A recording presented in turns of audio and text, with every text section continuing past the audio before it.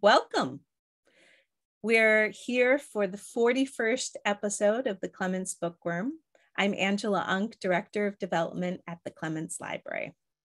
Today's session is being recorded to share online later. And in fact, this afternoon, you'll receive an email with a copy of the recording and any resources that are mentioned in today's broadcast. Just a quick tutorial in case uh, you're joining us for the first time. We love to use the chat during our program, so please feel free to chime in, uh, change the setting to everyone so that uh, we can all partake in the conversation. However, since the chat goes by very quickly, please use the Q and A section for your questions in there, you can also give anybody else's questions a little thumbs up and that upvotes them so that they come, those questions come to the top. And let's see, we do have as part of our diversity, equity, and inclusion program, our live machine captions turned on. You can toggle them on or off, and you can also change the size. I can only see so much. I can no, I can't see it. I can only control so much of what you see.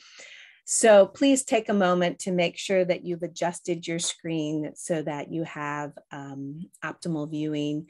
You can, I do have side-by-side mode in effect today, so you can move the separator to change the relative size of the speaker versus the slides.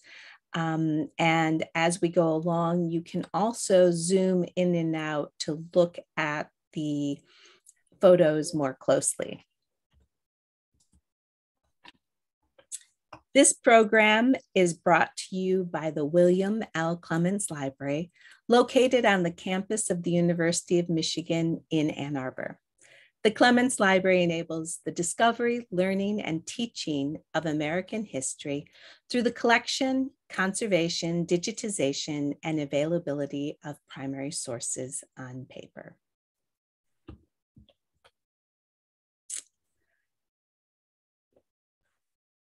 Now I'd like to take a moment to acknowledge that the University of Michigan is located on the territory of the Anishinaabe people.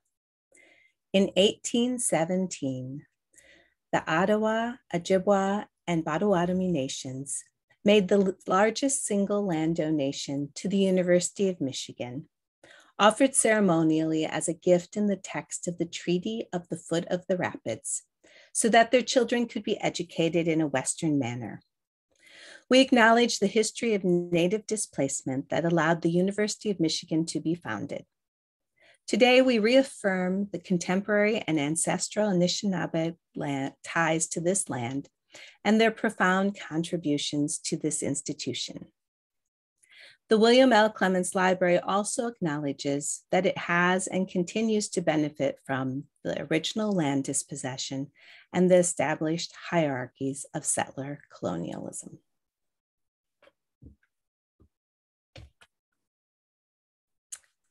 We are so grateful for everyone who uh, supports uh, this bookworm program, either through your attendance and participation, and perhaps through your donations as well. And today's episode is generously sponsored by an avid bookworm supporter. Thank you so much. All right click very quickly if you haven't taken our poll because I'm going to end it and share the results. All right. So as we were signing in today, we were discussing a little bit about labeling photos and um, asked all of you to let us know if you label your photos. And this can be your personal collection or a collection of photos that um, you've been amassing. And I see that 21% have said yes. So kudos to you. You need to give us some tips about how to make this happen in the chat because it's a hard thing to do. Um, 25% of you said no, and props to you as well because you've made a decision and stuck with it. And then most of us, 55%, say sometimes because it does seem like a good idea to avoid those family conflicts. Like when I was growing up, and my family would show slides from um, my uh, parent, my mom's siblings' childhood. and the, there, there was always a big discussion about which brother was in which photo. And then people would be trying to figure out what year it was and whether it was Bill or Dale. And so, you know, all of that could have been avoided by a little labeling. All right. So thank you for participating in that. Whoops, whoa. Back. Oh, There we go. It is my pleasure now to introduce Cindy Motzenbecker. Cindy's interest in photography began as a child, and in high school, she was affectionately called the mother of the darkroom. Yeah. She went on to receive her associate's degree as an electrical engineering technician and began working in research and development, encompassing lead acid batteries and solar panels and lots of recycling. Cindy has served in all the various positions on the Michigan Photographic Historical Society and is serving her second term on the Daguerrean Society Board. She has been collecting photographs since the mid 1980s with a special interest in occupationals. Welcome to the program. Wow, scary. It intimidated even me. Thank you for having me, and, and it's great to spread the news about historical photography. So, and you know, it took me a while to figure out what a daguerreotype was, but I did figure it out. So, yeah. Well, speaking of that, maybe you can start us off talking a little bit about the types of formats that you'll be sharing with us today, because I think I, sometimes it's a little confusing to sort out those early yeah, because I was buying hard images like this and I didn't know the difference for a while, but it, I had to figure it out because once you start talking to people, they go, oh, you're a doofus. So the daguerreotypes was the first process. So you can get the idea of how hard it is to see them. But when, when you, in real life, you would look at them close against your clothes. And you go to the Daguerrean Society symposiums and everybody's wearing black and it's not because they're all in mourning, it's so that your clothes don't reflect, you can see the image. So it's silver plated, it's silver plated copper, and then they fume it with um, bromine, I think it is, and then they fume it and then they expose it and then they put it over boiling mercury. So that's why you never touch the surface because you will smear it. It's it's sort of resilient, but it's not real resilient. So then, um, let's see, I got to quote Grant Romer saying that this was the perfect photograph and it went downhill from there. So then they came up with uh, ambrotypes, which is, see, you could see right through it. That's, uh, this process had to be done all wet and you had to do it, finish it up. If it dried, then you were done. So then, but it it's a faint image, and then you have to put a piece of like black cloth or paper behind it. And sometimes the glass is red, which I don't know if I have one here. So that was, these are all the commercial processes. There's all sorts of little side processes that went on, but these were the ones that could make money. And then um, they, it, this is from France, or Daguerre came up with this process, and Samuel Morse brought it to the US in 1839 and it took off in this country because everybody needed to have something to make money on and they figured it out. And the ambrotype process is a lot less um, let's see specific in how perfect you have to do it. So then they, they so that that helped when they switched over because it was easier to get supplies and it wasn't as much work. And then they came up with the tintype which is the same process and it's on metal. It's not really tin. They used that because they were calling it a cheap process, so they called it tin. And then they realized they could make negatives with the ambrotype kind of a thing. And because these are all one offs, they're only one of a kind. And then when you came to uh, figuring out that you could use it as a negative, then they came up with carte de visites, which you could that you could make duplicates. And then they figured out you could, you know, if you had an actress, then they could sell lots of them, and then they made more money with that too. And then the next process was cabinet cards, and they went into those little albums that went on your cabinet. So, um, and then when they when Kodak came out with those cameras, you would take like a hundred pictures and send it in, and they'd send them back. Then pretty soon it it was turned into like the snapshot era, and then now it and then it just evolved into board mounts and folders, and then everything else that you see when you were a kid. So how's that? Did I confuse everybody? I, I think it was a good quick snapshot just so that uh, everyone knows um, a little bit about the evolution and also that we're going to see some different types along the way. So I'm sure that you'll you'll give us um, some tips about how to look at these different types as we look at the slides. Okay, sounds good. All right, let's see what we have to start. Well, okay, this is a daguerre. These are daguerreotypes, just like I showed you. And I like little old ladies because most people pass them over. They do, you know, they're looking for the pretty girls or the cute babies and stuff. But, you know, I like little old ladies. They have a lot to say, whether they people believe it or not. Some have more to say than others. But I like the lady on the right because she looks like she could make a decent cookie, you know? she's fun. she's almost smiling. She may not have many teeth, but that's okay too. So when you're looking for these daguerreotypes, um, how often do you actually, you know, when you're buying them, do they actually know who's in them? Uh, very seldom. Sometimes if you take them out of the case, their names are in the back. I'll see if this comes out. Oh, no, because we're on show. But this, this one doesn't have anything in it.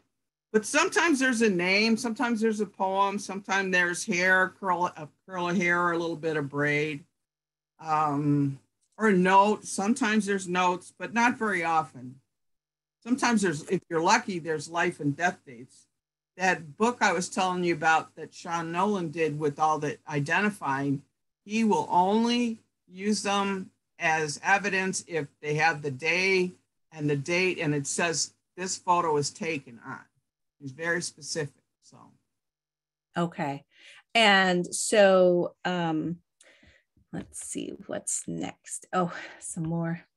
Yeah, now these ladies look a little grumpy. I mean, I don't think the lady on the right there would make too many cookies that were good. But the lady on the left, look at her work worn hands. I mean, she's she's done some work in her life and they, they all have the head coverings because they didn't have heat like we have. And, and if you're a camper, you know that if you're cold, you put something on your head and that keeps you warm. So that lady on the right's grumpy. Here's a young woman and she's pretty fierce looking. She's got a, a book in her hand, I think, and she's got hand colored flowers and they they put gold on the jewelry. That was also a woman's job pretty much to do the hand coloring. They would put powder on the plate and breathe on it, and that would um, amalgamate it right to the surface. Oh, wow. Um, did it have to be done right away or was it a process? I would later? think it would probably be right away because then they would, because these are, of course, I don't have, but if I can get this out of here, they have seals on the back of these, and you you literally, oh, the good, it came off. So here's the back of it, can you see the seals, the paper seals around the edges? So that would keep the moisture out and keep it from tarnishing. So you'd have to do it right away. So the cases are one part, um, I mean, you know, practical, but also, as we see here, very beautiful. And oh, then, oh, yeah. as you mentioned, could also contain some other little tidbits behind the photo. Oh yeah, no secrets in the back sometimes. And then they made these thermoplastic cases. They were they some people call them gutta percha, but they're not. They're it's thermoplastic and it's a conglomeration of uh, resin and uh, sawdust, and then they put them in the molds, and then it gets hard. And they can be cleaned, but they're sometimes they get chipped. But there's an example and so they had mother of pearl cases, um, tortoiseshell covered cases. So it depends on how much money you wanted to spend. Right. And so did did people keep these closed or would you leave them open and displayed? You could do either, but like in the Civil War, a lot of them were small. Like there's this is a real tiny one, but there are smaller ones too. And you could carry it in your pocket. And some of them are oval so you could take, and you know, it's an intimate experience. You open it up and you could see, you know, the picture of your girlfriend in there, you know, or your children or your family. So, right. Oh, that's amazing. And here's two two more ladies. Can you imagine wearing clothes like the one on the right, just tied into your clothes? Very fancy. She's got those. And then lace gloves. And then on the left, is that some more gold highlighting yeah. her jewelry? Right. And sometimes they would pinprick the surface of the daguerreotype with, and that would cause it to the silver to move around and it would cause more of a reflection. Oh, wow. And there's the inside of the case, same woman, I should have showed the outside, but that that when you hold it like this, it would keep it from reflecting. Because it's sometimes the pads are green, mostly they're red though. Now there's a stern woman. There's something that was inside. It might have cost her a dollar. So, and I think a dollar back then is like 40, 45 dollars now. So this wasn't for like just frivolously done. And you know, and there's that writing. You can't really read it. I think it says Reading Pennsylvania. And I don't know about the date. It's got to be 46, 56, maybe 56, because it's pretty elaborate. The mats would be much earlier on, they were, were a lot less busy. They were pretty flat. They were more like this one, more round and not so ornate. And where where did the uh, cases and mats come from? Was that something that the photographers provided? Oh, it was quite the business. So like now, like the guys that make them now, they usually just make their own cases. But this was, you know, all the stuff was there. It was like you could go to the store and order it, or it was more common to have that stuff around back then because it was such a big business in the United States and Canada and Mexico and South America. Right.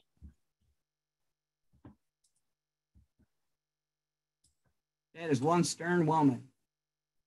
There, there's some fancy women right there, and that the one on the right has hand-colored flowers in the booklet and gold jewelry.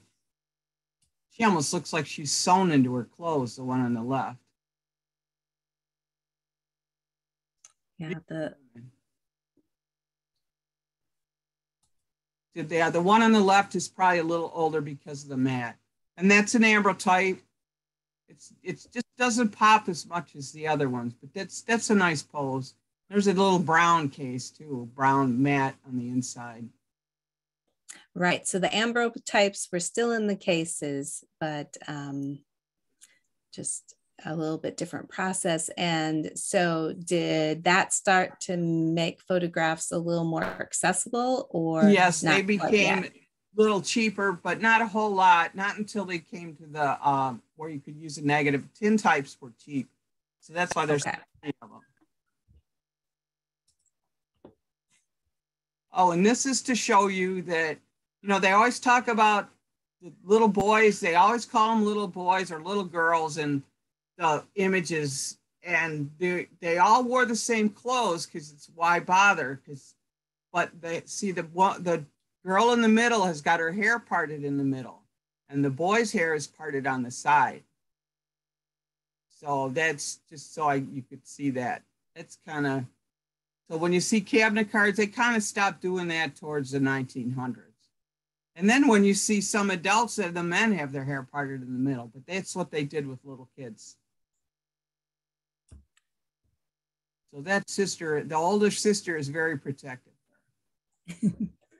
There's uh, two women, and their clothes were made. Everybody made your own clothes. You didn't have clothes like you had today. You probably had one in the closet, one in the wash, and one on your body. So that's why wedding dresses, you you didn't have a white dress unless you had a lot of money because why spend all that money and not wear it? So, but these I don't know if they're sisters or friends, but they have the same cloth in their clothes. Yeah, the the photographs you know are very personal and tell little stories. It's just that we don't always know exactly what those stories are right? Yeah you after you see enough of them you sort of get an idea but you, you never mm-hmm. know. It's just another mystery. Because now i look at them closer they're not sisters. And there you go. That there's some mom and babies mom and children. A lot of work. So a lot of work you mentioned that the one on the right has ruby glass. Um, yeah, I didn't have one out here. I should have, but but that's how this. Where is it? And that's where the base of this would have been red glass, and you wouldn't have needed this back piece so much. But the glass can be all different colors: blue, orange, purple. So that sort of gives them a little more value, but maybe not so much, unless it's marketing.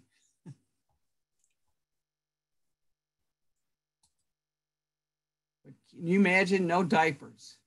And then I found this one at a flea market, and it was first thing in the morning, and I was like, not not enough coffee in myself, but it's in a thermoplastic frame, and the, that the backdrop with the hand colored trees with the flowers in it, it was like, oh, I, I, I'm going to blow my money right here first thing in the morning. But I couldn't walk away from it because it would have been one of those regrets. So, and apparently, after I've heard about that, uh, that's some specific photographer someplace in New England.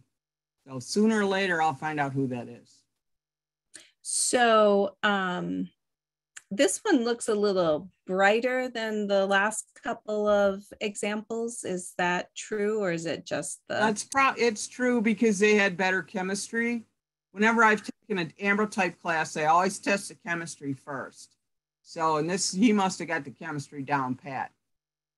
He knew what he was doing, or she could have been a woman too. Got it. Okay so that's part of part of the key to being a, a good ambrotype photographer. Yes you have to know your chemistry. And here's uh, the tintypes and these are occupationals. They're weavers. These are the shuttles big fun. So what first got you interested in occupationals? And maybe for for the audience you could just say a little something about what what we mean by occupationals? Um, I guess I first started collecting postmortems because they took pictures of pe- dead people because that might have been the only photo they ever took. But you know, they got to be so much the same, and they they were pretty expensive. So when I was out looking, because I was working and because I needed to support myself, I thought I'd start looking at occupationals.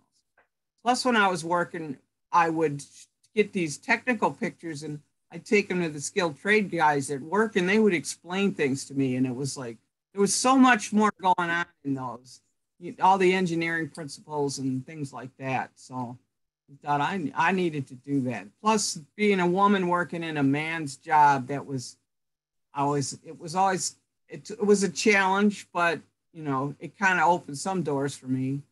So nice yeah so it's it is exciting to to see the kinds of jobs people people had and and the pride in in that work so let's see and and people did have fun so i thought this, these were cute Because, you know, they always talk about how nobody smiled. Well, you know, getting a picture taken was pretty formal.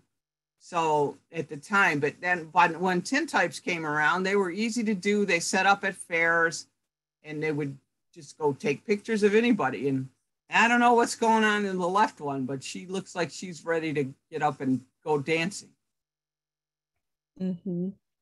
Yeah. And the one on the right makes me think of a photo booth, you know, the kind of silly pose. That oh, the backdrop. Yeah. But then, you know, but even the way they're posing, you know. Yeah, you can tell who the ringleader is there. so, you sure can. Yeah, I love to collect the goofy backdrops too. Goofy backdrops, just like whatever they accepted back then. It's just the fake rocks, the fake trees. It's like folk art, some of it. Mm-hmm. And this one I picked up because I, I noticed the backdrop first. And then I noticed she had odd clothes on. And then when I was scanning it, I didn't even realize that was a mask there. So I don't know what was going on, but I thought that was pretty interesting. So they definitely then just like they do now. Maybe she's at a masquerade. Yeah, or, or it could be like Mardi Gras. I don't know. And so I see she's got a little pink in her cheeks too. So they were still doing some hand coloring with the tintypes as well. Oh, yeah. Yeah. They did that all along. And then pink was considered too strong for girls. So that used to be a boy's color in the 1900s or 1800s. No, it was too strong. And here you go. Uh, there's the fake prop on the left with the desk with the fake books in it but there's a photo album on the on the like the ledge. And then there's the big the one in the middle is the hidden mother. That one's pretty obvious, but a lot of times you see all the babies, they're like pinched in there. They have a blanket over the mother's head and she's like squishing the baby's head to keep it in place. It's it's pretty funny. Or you could see the parents hiding down behind the chair and their arms or legs are sticking out. It's really cute. And then I found this one with them uh, playing cards. I think it's a tarot spread, but I'm not sure. So cards, no, they didn't have TVs back then. They had to do something. And I originally bought the one on the left because I thought she might be a hat maker. But then I started thinking she got to the studio and took it off so they could see her face. Mm, good point. And, and since we're on hats, I found this other one. For me to find black tintypes, African American, it's it's really tough, even here in Detroit. But you know, I you every once in a while you get lucky. They've got a lot of elaborate stuff, but and they also have books on the table, which means they probably could read, which is not something that was so prevalent back then.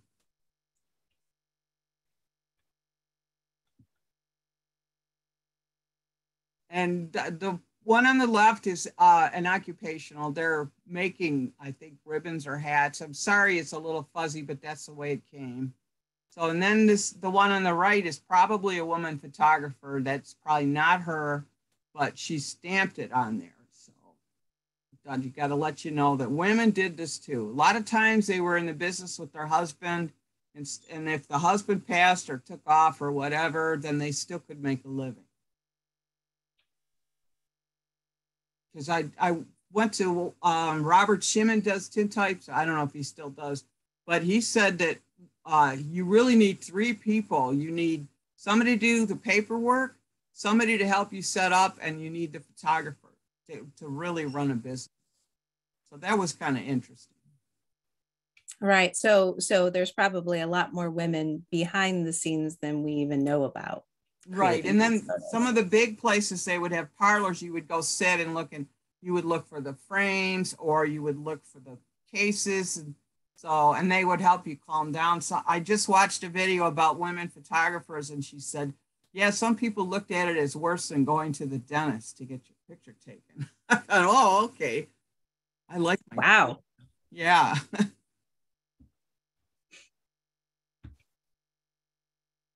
and there's a bunch of women on the left with their purses. It's very nicely posed with the the odd backdrop. It's just fabulous image. And then to find uh, photos with uh, veils over the faces is very uncommon. So I, even as beat up as it was, I thought I had to have it. So kind of would get in your way, but. And then here's some occupationals. There's uh, the maid on the left with their broom, and she's cleaning the candle or the oh my brain's dead. It uh, glass for the lamps. And then on the right, another woman's job was uh, to set up the printing. So she's see she's got the apron, and then the it must looks like a brother behind her is holding the newspaper. So that was a woman's job to set up because they could spell, I guess, better than the boys. Do you think those are kerosene lamps? Uh, probably whale oil, something that smelled nasty. I found a lot of these years ago because now everybody's looking for photos. Okay. The one on the left is like crocheting or knitting. And the woman on the right, they just put all those um, photos in there as part of the props for the stand for the fo- fo- fo- photo.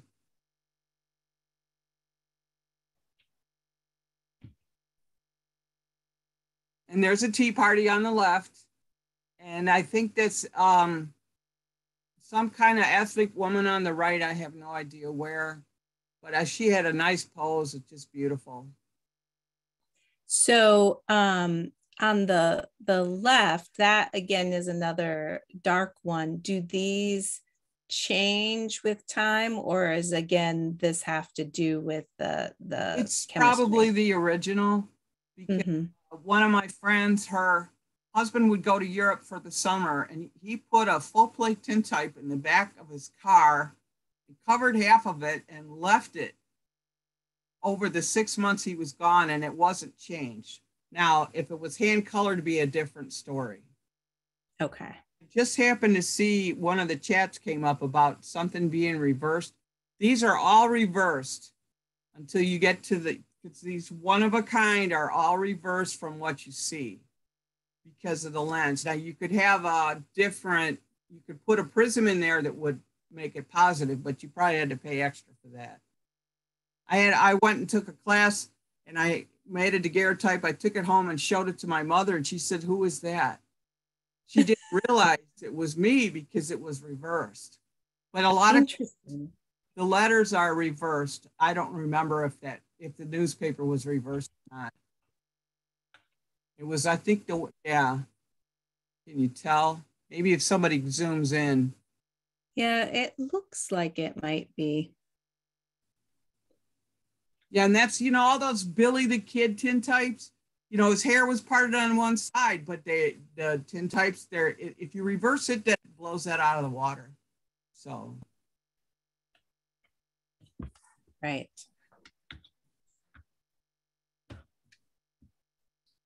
And uh, the the one on the left, there's this, she's holding a stereo viewer. You would get slides, glass slides, and you know, uh, you know, like your ViewMasters, but that you would look in there, and there's a little cover that would open up, and it would let the light in through the glass. That's English. And then I have parrots and cats, so I when I saw this one with this African gray, I had to have it. It wasn't cheap, but it was a beauty and dead dog yeah. moving neither did the parrot because you know you see those pictures of the babies with their heads wiggling all the time so everybody so now um we've moved on to these cabinets oh, to the CDVs. Yeah, and um, when did they start taking those? Do you remember? Probably they started towards the beginning of the Civil War like just prior, and then they took off there because everybody wanted pictures of their family as they went off to war. So these are the first ones you can do duplicates of because they had a negative. And they always say negative. Sometimes on the back they'll say negative save forever. But you know not they didn't. Life's what's happening when you're making other plans. Right. Um yeah, so so uh, in terms of the time that you had to sit for these was it sh- does it keep getting shorter as we keep changing yeah um, when i methods? took that when i took the daguerreotype class it was late in the day and it was dark out and it was a northlight studio and it was a 13 second exposure.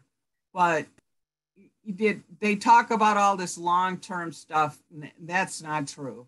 I mean you didn't have to sit there for 20 minutes or any of that. Maybe the first couple of photos you know they were overnight exposures but not so much uh, and they, they the once they added i think i forget they added something to the daguerreotypes that made it much faster and you know these you just go in sit down and you just click and you're done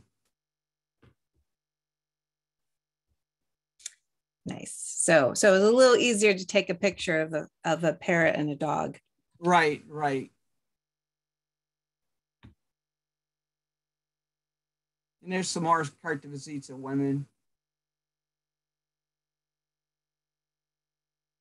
With the stuff on their heads. And then I was lucky enough to find these. And and then those are the the reverse side of these the with the photo yeah the backs you know with the photographer's mark some of them are real elaborate and fancy and some of them are are just blank so it's a crapshoot again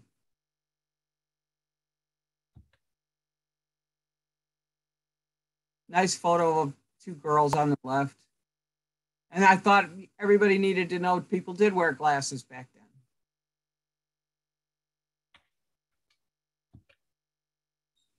and there's some goofy backdrops and props. it's like let's put a boat in a studio, a cardboard boat or something.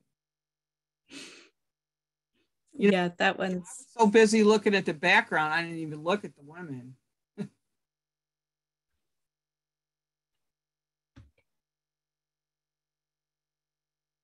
Oh, and then um, women didn't wear pants. You were obligated to wear a long dress, and there was the bloomer movement and that so they would they would start shortening up the pants and you could see the pantaloons underneath. I'm not that good at clothes, but I got so excited when I saw these that I could buy them that I did. she's got that odd hat too. You would turn around and look at her if she was walking on the street. And there's some more. I need to do research on these ladies. I love the person, the woman on the left. This is all upstate New York. Okay. Yeah. So at this point, when there's a little more information about the photographer and some of these other things, sometimes you can track down more information.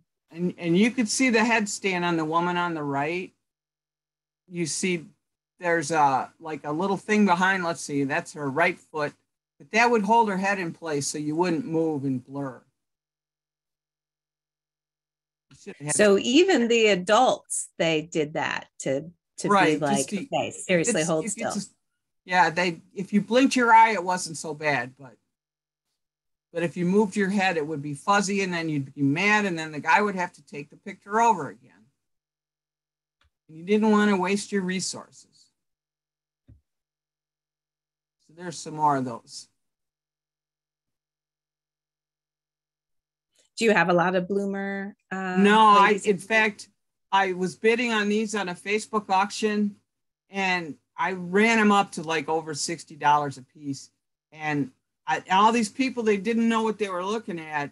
And i'm they're asking these questions and it's like i'm not saying anything till this auction's over least it, and then the guy came back and said i have one more of these i'll sell it to you for such and such a price because even he was surprised how much money he got for it So, and he was an ephemera dealer. So nice. Big fun. Oh, and this is a professional invalid. She was in bed 62 years. She was pretty fun to look that up on uh, Wikipedia. There was all sorts of stories about her too. But to be lay in bed for 62 years with tuberculosis. I think she did eventually die from a tuberculosis too. So um, in this case, uh, is she making money from these photographs or yes, is the yeah, photographer? they would sell, and she would lecture. I don't know if she'd lecture from bed or what, but she did. There was a lot of money to be made, like circus photos or. And then during the Civil War, they had those. They were not. They were photos, but they were photos of drawing, like of Lincoln and his family and all that. They would sell that to make money.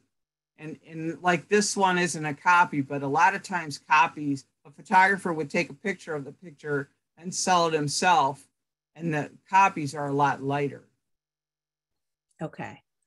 Um, I know that in some of the photograph albums at the Clements, we see photos like this intermixed with family photos. Yeah, well, they in, they would sell album fillers too, like the angels or Bible verses or artwork. They would all just stick them in there because you would buy you know, like my aunt, she would pick up pictures out of the garbage, but she, and she mixed them in with the family stuff. But you would, you would just, you know, if you you would collect the pictures of your friends and your family, and it wouldn't necessarily, if you get an album, it wouldn't necessarily all be your family. You'd have to, you can't assume that. But they, if there was an empty page, you put a uh, album filler, and they made cabinet cards and CDVs of album fillers.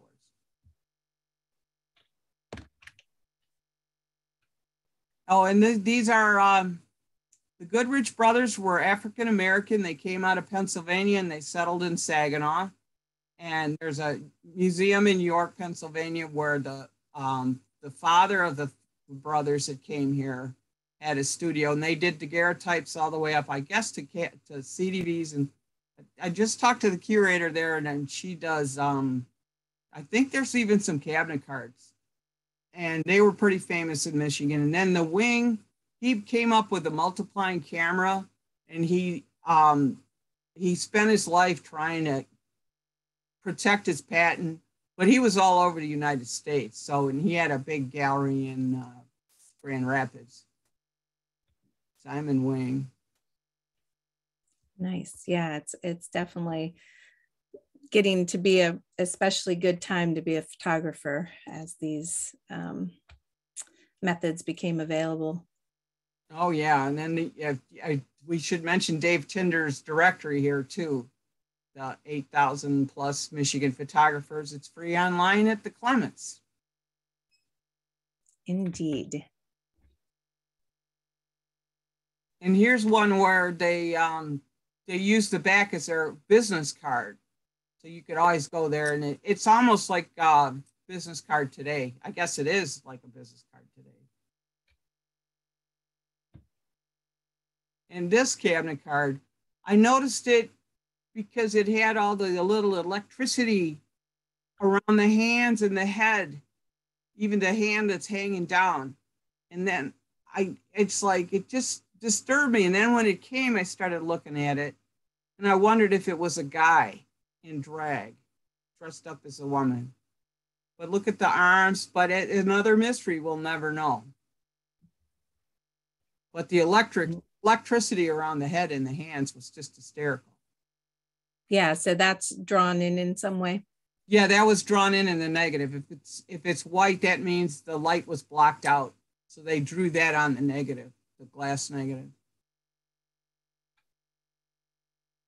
so yeah seeing seeing some some artistic uh you know uh ideas oh, yeah. in a card like See this what clayton says could be. Oh a, yeah clayton's saying a spiritual guide or healer perhaps. That's that's a, a good idea. And the, the it, probably the first thing that grabbed me was the goofy backdrop so. Just another mystery. And there's some cabinet cards. I, I just thought the one on the left was a nice family, you know, grandparents with the grandson with the backdrop. And it's a nice cabinet card on the right with the backdrop with two friends. Yeah, lots of elaborate backdrops for sure. Yeah, the boats. It's just, you know, you don't even see the people halfway.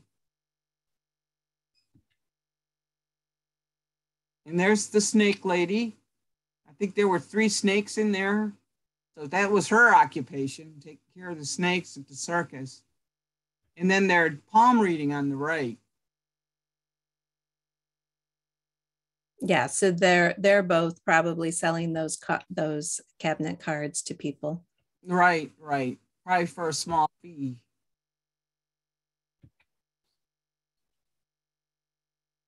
And there's a graduation photo on the left. It's kind of fun. And another goofy backdrop on the right. Look at the dress. Jeez. How many layers do you need?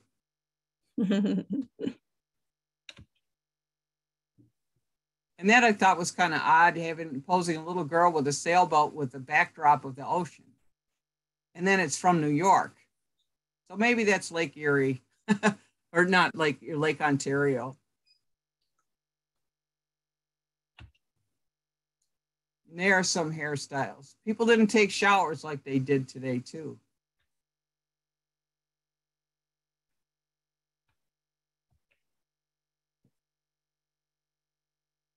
There's another, it might be a, a, graduation picture on the left. And the one on the right was intriguing to me because of the posing. And the, the person in the background just, they look so much, the head is so much bigger. It just didn't look right to me, but who knows? Another mystery.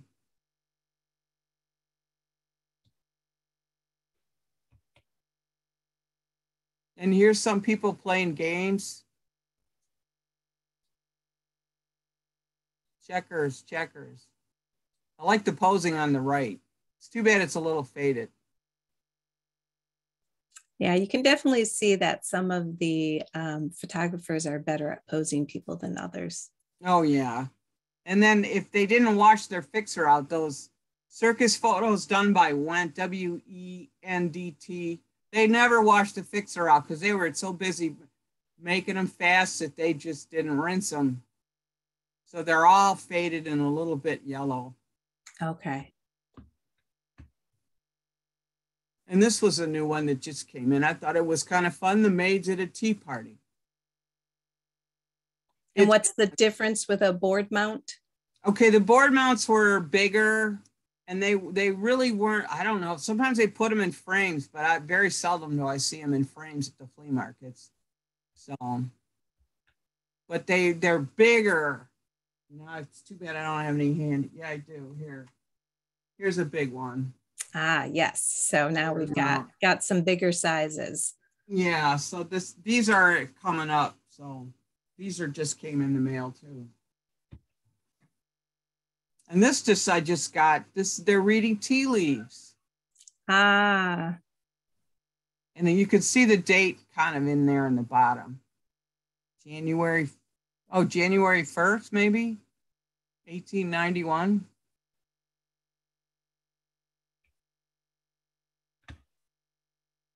And this just came, and I think, I think they're doing mushrooms. I really couldn't tell what those are. Are those baskets of mushrooms? But that would explain the sticks because they could dig them out of the woods, out of the ground like truffles. I'm not sure, but I thought that was a good occupational. You can't really even tell where it's from because somebody must have rubbed out the name. Yeah, that that definitely looks like one that could be fun to to research a little bit more. Yeah, it's like I wish I could blow it up myself. I should should. And these were just cute little kids.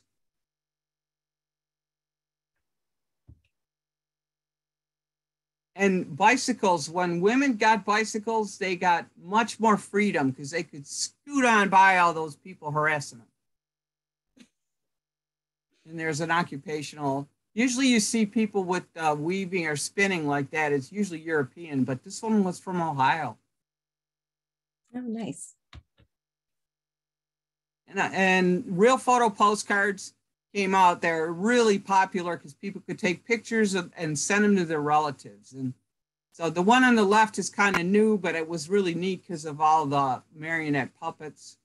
And then the ladies on the right, you know, they're they got the washing stuff in the bag, the chickens on the ground, they're wearing their aprons, they're holding fish and flowers. You could see the big dinner bell up there. So and then they had the house on the back, and then they probably did the cooking in there on the right side. Because I know people didn't like cooking smells so much back in the day. Yeah, there's a there's a lot more going on in these photos. Um, you could look for a long sure. time, see lots of mm-hmm. things. And I like to buy multi generational photos too. So there's four on the left, and there could be five on the right, but hard to say.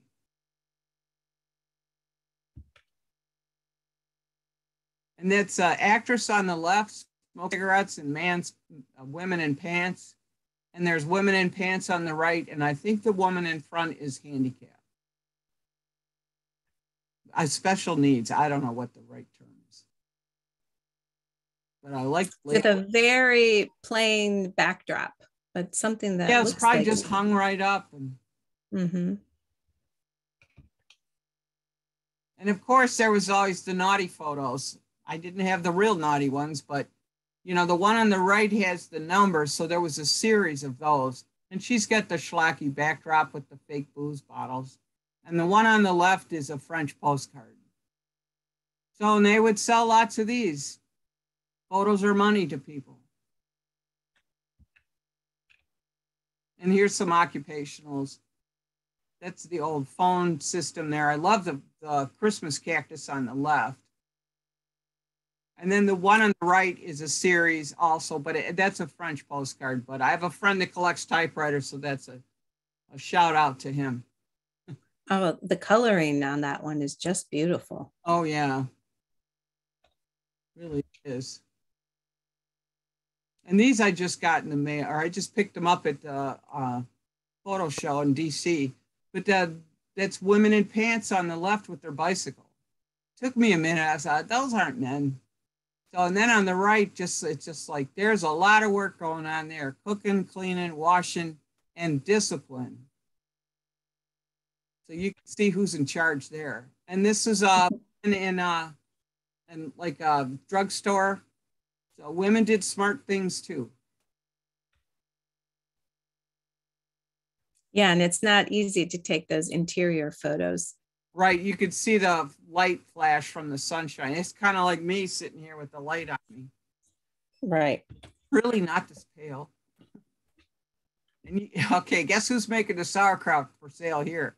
It wasn't him. he may have the apron on, but she looks like she's in charge.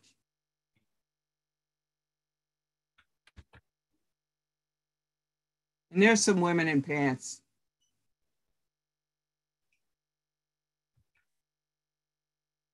Okay, and these this these I just got off of an auction, and they oh oh this one is this is a watch factory. Just looks so grim. Um, can you imagine the sound with the see the um, belts going all the time? It just would have been really loud.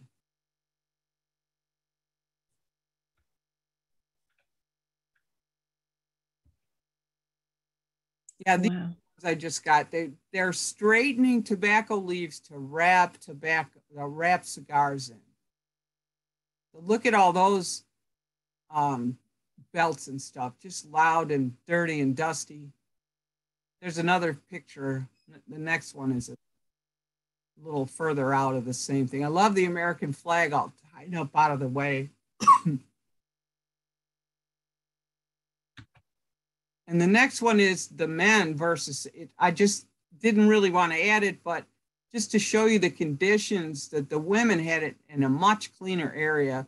You can't really tell, but there's like barrels next to these guys where they they must have been chewing tobacco and spitting it in there. It just looks really awful. And that, yeah, and I was a waitress. It drove me into college. So, and I just love this. You could see the greasy walls and the, the moose head over it. It's like, wow, this is just great. There's a fox in the corner. that is great. And then I just got that one too. That was like car hop stuff. And there's a hat shop. I'm sorry it was so bad, but it showed the hat so well that I left it in. Oh, it's amazing.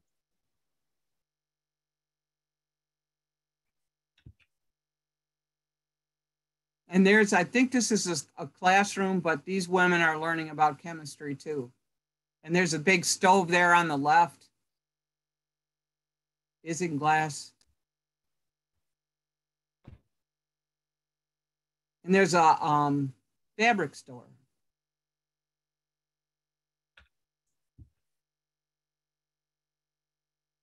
Store interiors. And there's you could see the pipe sticking out of the wall there up in the top. So they would take the stove out in the summertime and put it back in the wintertime. Wow.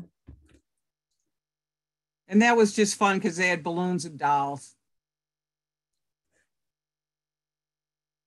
Yeah, they're definitely having a lot of fun in that that mm-hmm. pose. And there you are. There, everybody's outside playing croquet. And I like big house pictures because of the architecture too. So they got porches all over in there, big windows. Probably had a maid too. Looks like a big water tower up behind the house. And I First Nations photos are hard to come by. And this one I found hand colored. And it says to the the one I love only, your wife. Oh, that's nice.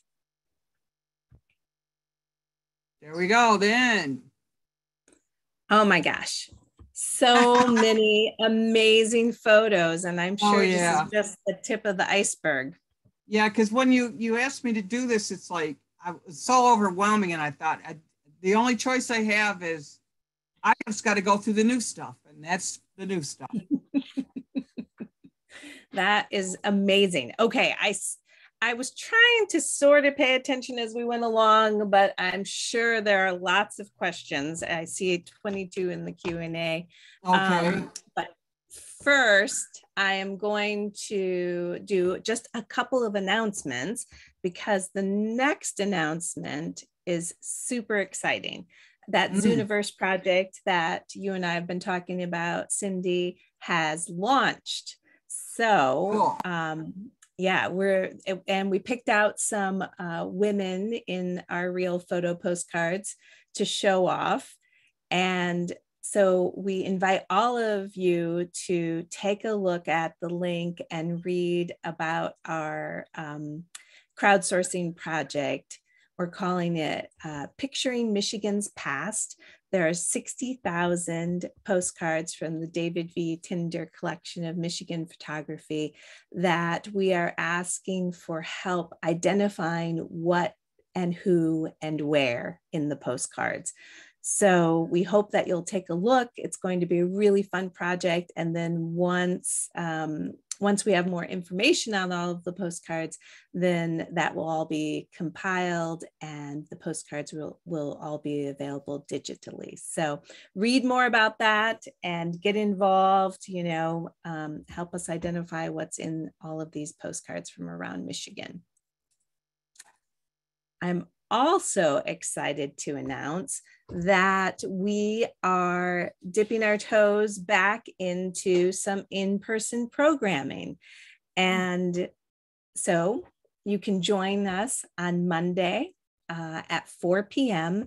in Robertson Auditorium at the business school to hear Honorée Jeffers speak. Um, she is talking um, about an issue of mercy, exploring the life and writing of Phillis Wheatley Peters through documents and poetry. Um, Professor Jeffers will discuss the research and practice that led to her award winning book of poetry, The Age of Phillis.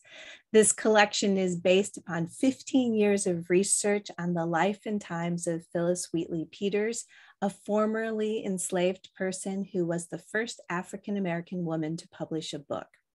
Professor Jeffers will discuss the connections between archival research and creative practice and the ways that early Americanist scholarship can benefit from engagement with contemporary poetry. So we hope that many of you will be able to attend in person. In addition, we will also be offering a live stream of this event. So register if you would like to watch it from home. I know that we have people from all over attending this program, and we'd love to have you join us. Next bookworm is Friday, April 15th at 10 a.m. And we'll be having an author co- mm. conversation with Gregory Dowd, uh, a professor here at the University of Michigan, about his book.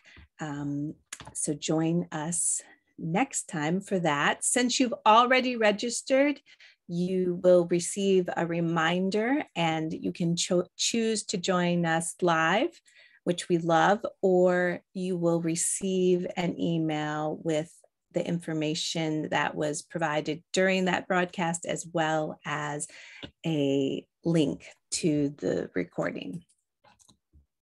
As always, we would love to have you join our um, community of supporters, the Clements Library Associates, to help us continue all of the work that we do. In addition, we're looking for uh, sponsors for future episodes of the Bookworm. So let us know if you're interested in that. Okay, let's see what kinds of questions we have. All right. Um,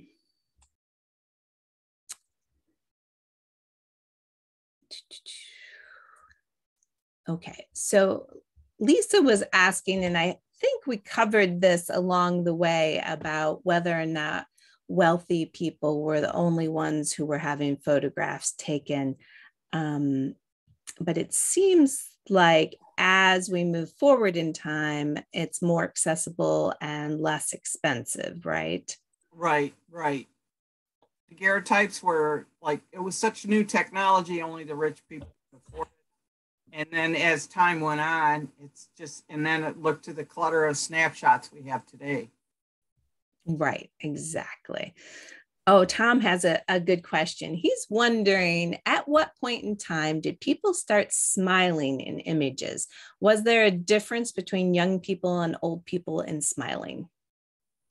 Well, a lot there's lots of talk about that, but it was, you know, originally it was a solemn thing, like going to the dentist you, to get your picture taken. And you know you're taking a picture for posterity but then people also you know they didn't brush their teeth like we do. And and also smiling was forward.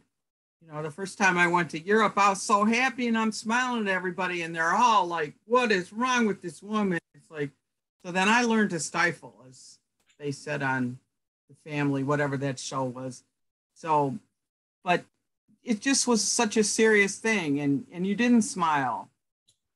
So but later on then they did obviously in those tintypes that people were smiling. Right. Yeah so a combination of a combination of a change in societal norms and in the yeah technology. body language and you just don't want to be that available because you smile you're available. Right. Um Let's see. Tom is also wondering if the frames and cases were reused with different photos. Uh, pretty much they used them up as they went along.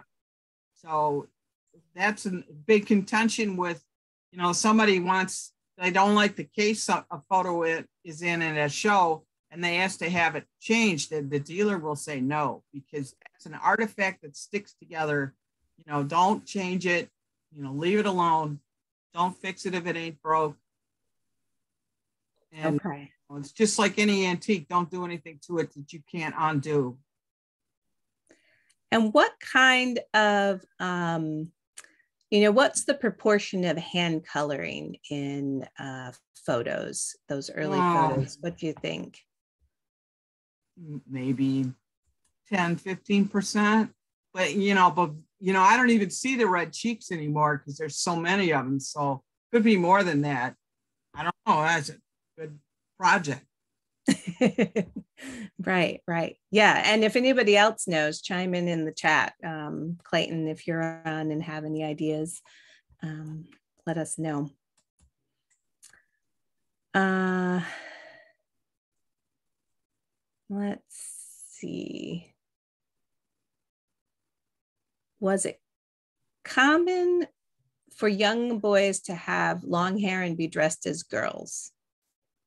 Well, they really weren't dressed as girls. Everybody was dressed the same way, that's just how we perceive it. They would be dressed as children in back in the day, but because they had flowing clothing, they thought they were girls. But it was easier to change diapers that way. So, uh, what was the first part of that? Uh, oh, oh, hair. But hair. you, oh, yeah. yeah. and you were talking about the parts and how how yeah, that... the parts. The boys were on the side and the girls were in the middle. And so one of my girlfriends, she didn't want to cut her kid's hair until he was like six. He had gorgeous hair. So now I've been collecting pictures of boys with long hair, but their hair was always parted on the side. So and they, it was kind of like you get you, you got breached and you didn't have to wear those you got to wear long pants. It was kind of like getting your hair cut too. It was like a stage in life where you were older now you didn't have to have it. Right.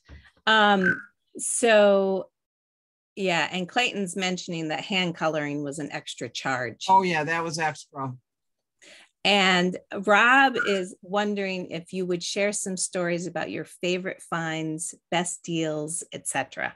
Oh, well, I'm kind of a bottom feeder because I can't run with those New York big dogs, you know.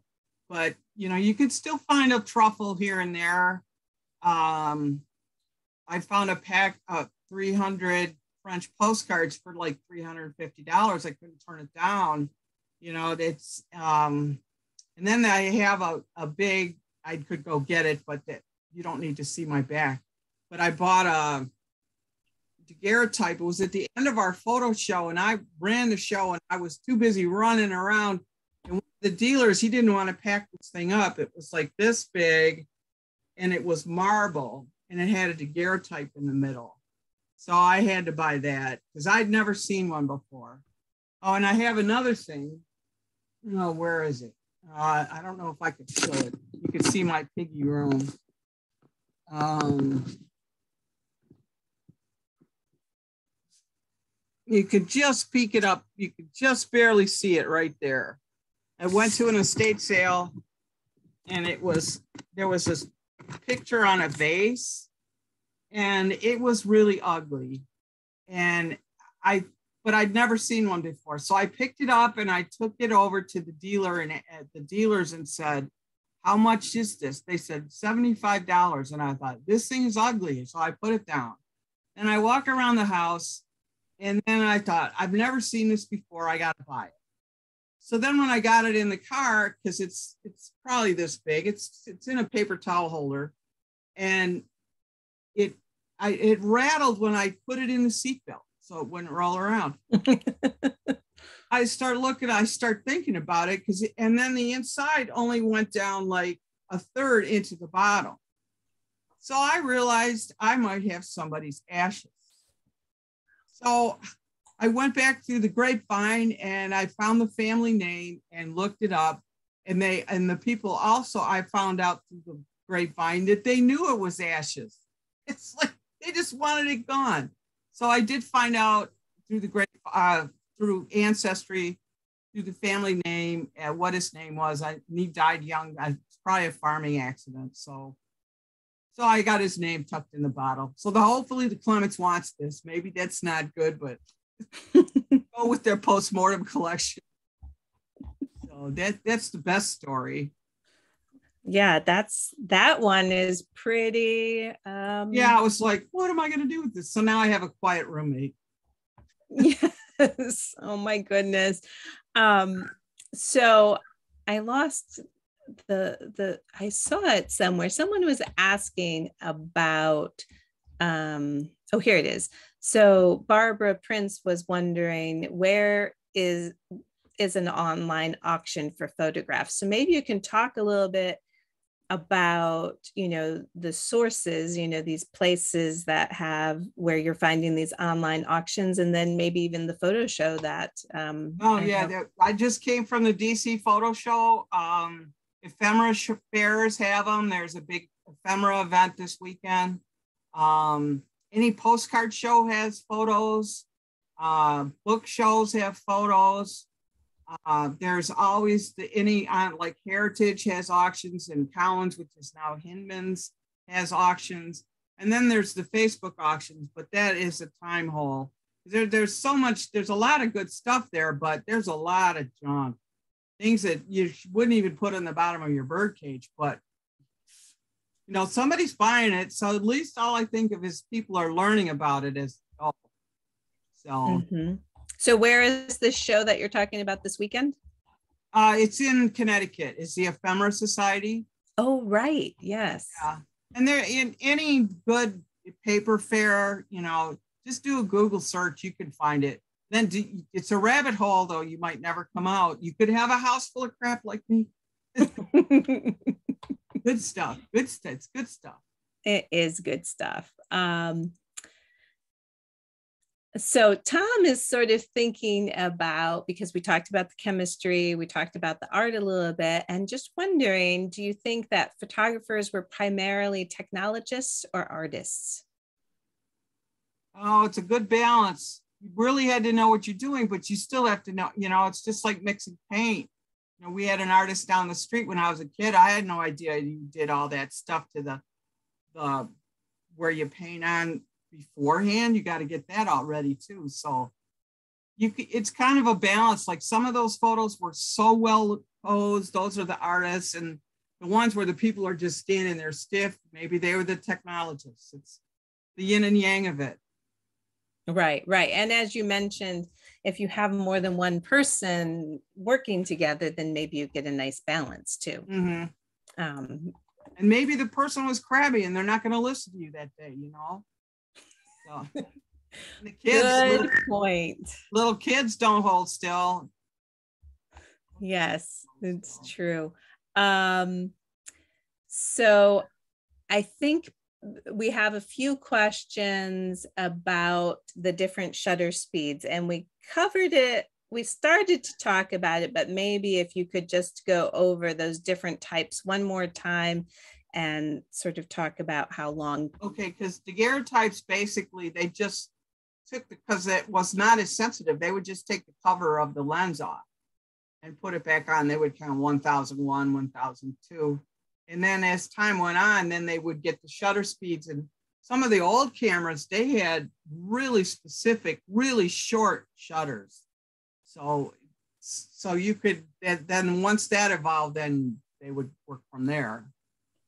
Does that make sense? Um, so even with these processes, it still varied a little bit, but as you were mentioning, it's not as long as people think, but it's right. long enough that if you move a little bit, you get blurry. But right, right. But we even see that now. Type. Yeah, yeah. Even with if you don't have enough light on your phone camera, you're going to get a blur, or it won't take a picture at all. Right, right. And yeah, and we do have um, to a uh, Discover ser- series uh, that Clayton did that talks a little bit more about the history of photography too. That's recorded if anybody's mm. oh. interested in some of those details. Always learn more someplace. Exactly, exactly. Um, all right, maybe a couple of more. Um, Oh, the backdrops. You mentioned the backdrops several times, and Tom is wondering, you know, where where did they come from? And some are really elaborate and artistic. So how, you know, what do we know about? Uh, they was probably in catalogs too. And I was lucky enough to see somebody's backdrops. And I don't want to tell his name because he he doesn't need to be bombarded. But we saw some of those backdrops, and I I was shocked because they were in color you know, and all the pictures were black and white. And then he's unrolling these things, and it was like, wow, look at this. I felt like I was, it was a religious experience to see all these. So, but they they had them in catalogs. A lot of people made them. You could see those folk arty things where where you're like, what were they thinking? But you know, nobody was trained. They just drew a tree in the background. It's kind of like that one ambrotype with it that was just it was not real, but you got the idea it was a tree. But that was that one had to be hand. That, that goes back to the artist versus the technologist again. Right, right. So so there were catalogs with the backdrops, which means that around the country, some of the photographers had the same backdrops then. Right, right. If you had enough money to buy it and had, you know, and then the travel wagons or train cars, they had train cars, they would have uh, the backdrops just there. Some of them were on wheels. You could see the little things. And some of those old photos, you could see the lighting in the ceiling where they had the skylight. And if it was too bright, like it's too bright on me, they would have a cloth over it and you could see that hanging down. Yeah, so a lot of a lot of different elaborate setups. Um, yeah, and some of it, you know, those guys just ran around the country with a wagon, or you know, like what is it, Sullivan that had it, had all those glass negatives on his donkey, and it fell over the cliff. It's like, oh my god, he was in the mountains. Yeah, that that'll put you in the nut house, right? Jeez. Yeah. Work. Um, I don't know what, maybe this will make sense to you, but Aaron's asking Was gutta percha ever used for early photo cases? No, that's that people didn't know what to call this. It's thermoplastic, it's a composite, but gutta percha is like, I think it's like bog wood that's carved, and there there wouldn't be enough of it to do these things. So, but these these were resin and uh, and just sawdust put in a mold. Sometimes some of them were better than other, and some of them weren't. They made all sorts of stuff, combs, jewelry, out of this too. Oh, okay. Yeah, so gutta percha is really like waterlogged wood carved, and that's it's relatively rare. You don't you really see it, but that's just a misnomer that was put on it early on, and people don't get that that's not gutta percha. Thank you. Um, Rob is mentioning that the backdrops were sold by the same companies that painted scenic backdrops for theatrical productions. Oh, that makes a lot of sense. Yeah.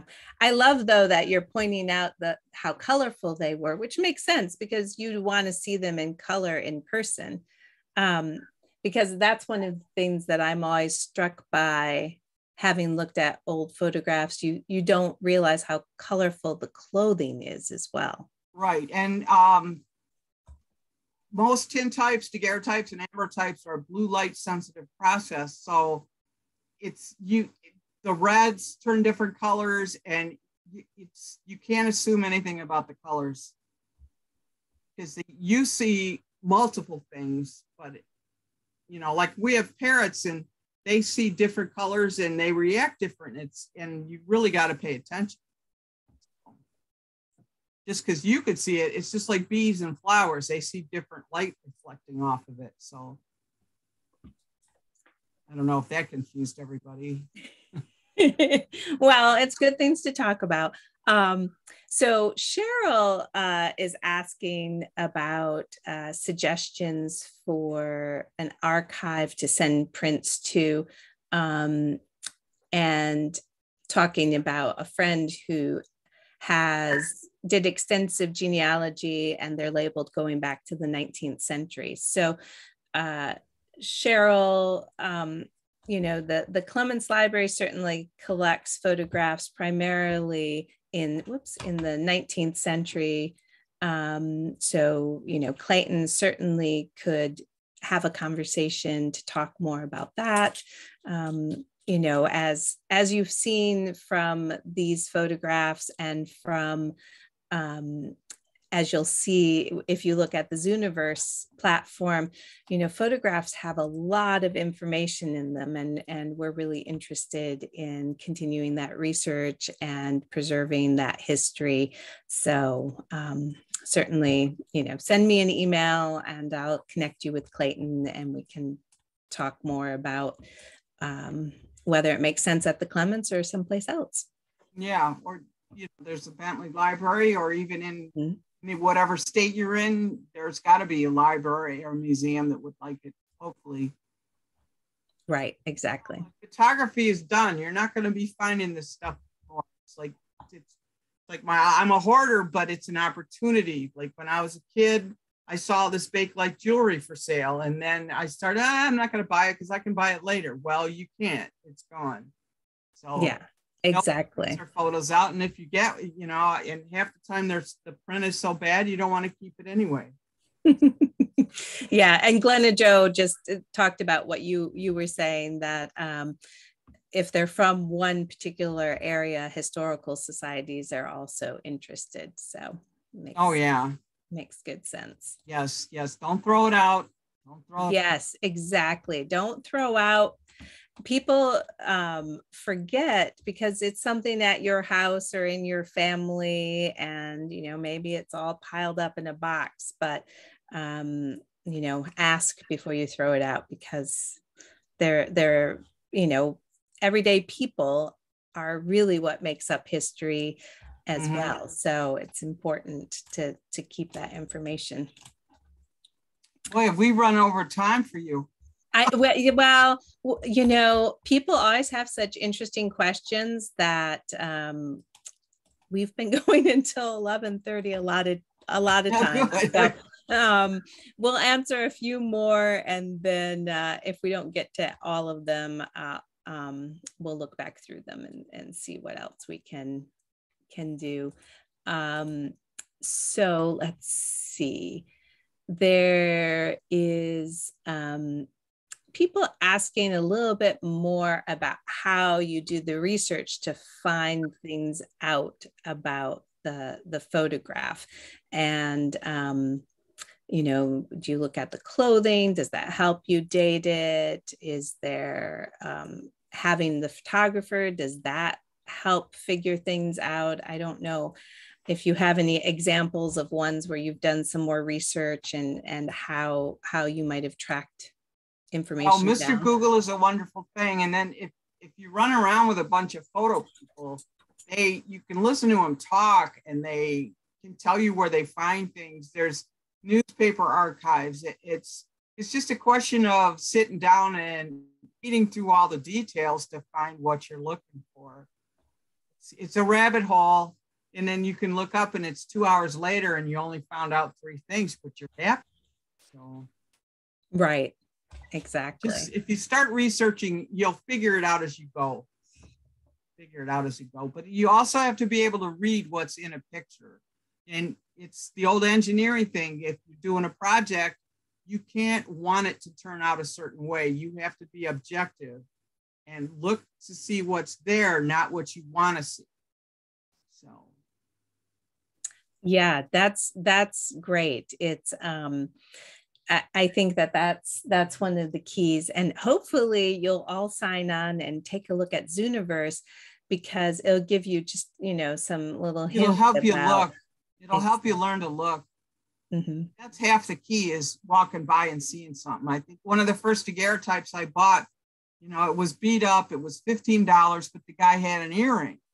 So then I went to work and asked the guy in the Navy, "What's the story?" So then they came up with he'd been around the horn he'd been around uh, across the equator, or a lot of times they would wear, you had a gold earring, and if you drowned, then they had money to bury you and you could keep the leftovers, you know.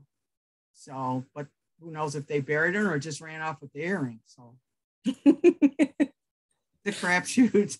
right, right, exactly. So, wow, this has been an amazing way to spend the morning. Well, thank you. Thank you. Share and you go to the relatives and then you could see you start talking about your photos and you could see the film drop over their eyes. so at least we had a good audience here. yes, this is lovely. It, it was really wonderful. And thank you so much, everyone, for joining us today and for your good. Yeah, and if you want me to do it again, I will. okay, good. Okay. Because I, good. I'm sure you have lots of photos that we could take a look at. Oh, yeah. Oh, That's, yeah super. Um, yeah, Doug Johnson says, no film on our eyes. yeah, oh, okay. Good. Thanks. um, so thank you very much, Cindy. And thanks okay. everybody for joining us and have a great weekend. Yeah, thank you. Bye-bye. Bye.